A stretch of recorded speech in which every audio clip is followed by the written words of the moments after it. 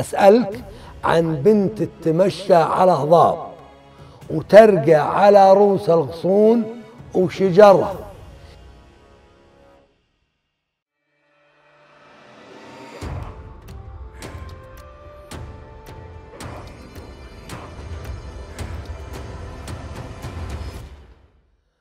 السلام عليكم ورحمة الله وبركاته مشاهدينا ومتابعينا. أسعد الله مساءكم في هذا المساء الجميل والذي يزداد جمالا وبهاء بمتابعتكم لنا. عندنا حلقة اليوم من برنامج بيت القصيد واللي يجيكم من خلال شبكة منصات للإعلام الرقمي. الحلقات راح تكون مختصرة على جزئين فقرتين. فقرة الأولى قصة وقصيدة أو قصة بغض النظر سواء في قصيدة أو ما فيه والفقرة الثانية لغز البرنامج مثل ما تعودنا. إذا ننتقل على طول على الفقرة الفقرة الأولى نقول أو تقول أفكر شعر طلع سالفة فنمط السالفة غير. هذا يقولون رجال شرو من يسمع رجل نبيه وحكيم وعنده خلينا نقول بعد نظر لكل شيء بهالحياة. عنده ثلاث عيال وبنت. وعنده من النباهة ومن قراءة ما ما ممكن إنه يصير يعني الحدث والحكمة والفطنة هذه عنده مميزة عنده أكثر من غيره. ومعروف بالشيء هذا. لكن هو كبير بالعمر شوية وعنده ثلاث عيال قلنا وبنت فيوم من الأيام في واحد متعدي وانت بكرامة عندها منام كلب الكلب نابح عليه مد على الكلب وذبح ذبح الكلب والله ثاني يوم من هو من فلان والله قالوا يبا والله في واحد تعدى من قدام البيوت البارح بالليل المغرب عقب المغرب المهم وذابح الكلب قال اذبحوا اللي ذبح الكلب قالوا يبغى؟ قال اذبحوا اللي ذبح الكلب وأنتم كرام. طبعا يعني هم رضيين لابوهم وهذا ما يحبون يكسرون له كلمة. ما قالوا له قالوا إن شاء الله يبغوا كذا. الولد الصغير ربع وقال ربع يعني قام فز. قال عياله ترى أنا اشرح بعض المفردات لأجل فرق اللهجات بيننا. قال عياله قال لإخوانه ودي أذبح قال روح أذبح. فلان هو له وين وجهك؟ نذبح رجل من جماعتنا ومن قرايبنا ذبح كلب الله لا يرد الكلب عادي يجينا ويعتذر وهذا وسال ما في شيء. كلب يا رجل. قالوا أبويا يعني أبوي لا ليش أبوي عاد؟ قال إيه؟ قالوا بالعربي أبوك مضيع. والله قنع هذا وراحت السالفة بعد مثل ما تقول فترة ويجونا هم من اللي يعرفون البيوت هم خون هم جماعة قبل حتى السبي. خلينا نقول عند متعارف عليه ظروف الحياة. سواء السبي ولا النهب ولا السلب كان خلينا نقول مسموح وأنا ذكرتها بحلقة ماضية. ف حايفينهم وماخذين خامشينها شوية من البعاري. ثاني يوم والله انهم فاقدين لهم كم من راس من بعرينهم جو على أبوهم. الله يا يبه هيك شيء صار؟ والحمد لله بسيطة لكن والله راح من عندنا يجي خمسة بعاري قال اذبحوا اللي ذبح الكلب. التفتوا على أخوهم الصغير يعني بح. إحنا نقول البحرين راح نقول روح اذبحوا اللي ذبح الكلب قبل سنة.